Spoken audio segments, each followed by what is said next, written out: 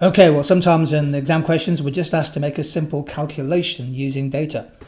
So here's a currency calculation question for you to have a go at. Suppose the exchange rate, the currency value between the US dollar and the pound sterling, is $1 buys 58 pence. What is the price for UK consumers buying textbooks that are priced in US dollars? So this is a simple exchange rate calculation question. Press the pause button, have a go, I'll be back in a few seconds with the right answer. So the current exchange rate is £1 buys 58 pence. There's been no change in the exchange rate, we just asked to make a simple calculation.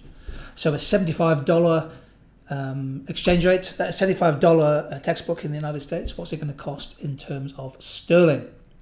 And the correct answer is A, £43, 50 pence the price of $75 and an exchange rate of $1 buys 58p. Well, of course, that means that £1 buys more than a dollar. So if you'd expect the price to be lower than 75 in sterling terms, each textbook will cost $75 times by 0.58 because you're having to give up 58 pence to get a dollar in exchange.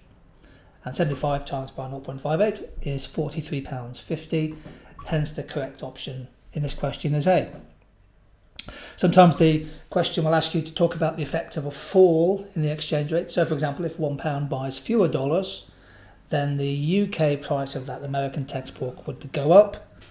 But if the pound strengthened against the dollar, if, for example, you only had to give up 55p to buy a dollar, then that £75 US textbook would be cheaper priced in sterling.